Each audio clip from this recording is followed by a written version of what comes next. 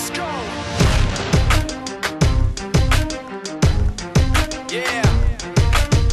For those of you that want to know what we're all about, it's like this, y'all. This is 10% luck, 20% skill, 15% concentrated power of will, 5% pleasure, 50% pain, and 100% reason to remember the name.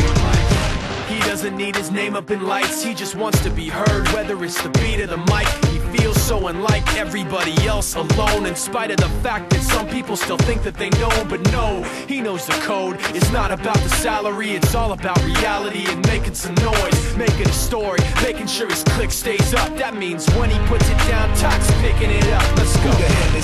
He never really talks much, never concerned with status, but still even him starstruck. Humble through opportunities given despite the fact that many misjudge him cause he makes a living from writing raps. Put it together himself, now the picture connects. Never asking for someone's help or to get some respect. He's only focused on what he wrote, his will is beyond reach. And now it all unfolds, the skill of an artist. This is 20% skill, 80% fear, be 100% clear, cause Ryu was ill. Who would've thought he'd be the one that set the West in flames? And I heard him wreck it with the crystal method, name of the game.